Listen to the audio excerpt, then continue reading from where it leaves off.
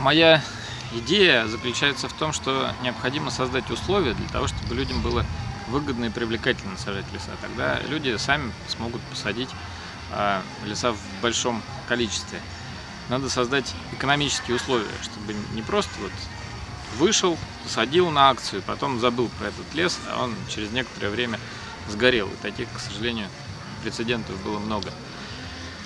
А так, чтобы получился такой устойчивый механизм, когда там, люди, живущие на этой земле, фермеры, хозяйствующие какие-то, они могли бы посадить себе необходимые лесы, чтобы были какие-то гарантии, что, что денежки придут, и это не просто так, как личная инициатива, а это все-таки стало как-то выгодно.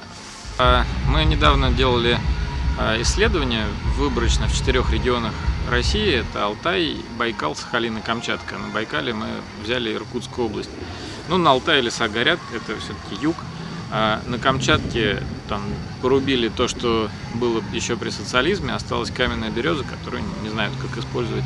На Сахалине тоже вырубили практически все, только осталось процентов 10 лесов таких девственных, которые труднодоступны, и туда никак не добраться. Ну вот я думал, Иркутская область, это вот центральная Сибирь, а вот уж там-то, наверное, леса полным-полно.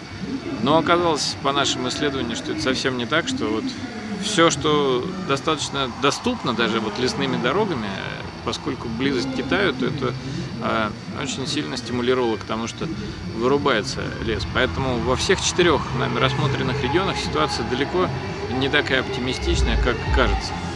И вот хотел бы проиллюстрировать это одним примером. Как-то несколько лет назад я привез голландского инвестора в Россию, на Алтай, и мы проехались и показали что вот здесь у нас есть посадки, здесь, и что вот необходимо выращивать этот лес, потому что у нас нет на данный момент вразумительных экономических механизмов лесовосстановления. Рубка так продолжает идти, а лес не восстанавливается в должных объемах.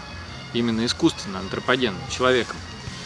И голландец, я его спрашиваю после нашего путешествия, что вас больше всего удивило в России? Он говорит, знаете, меня больше всего удивило, что в Сибири надо сажать леса.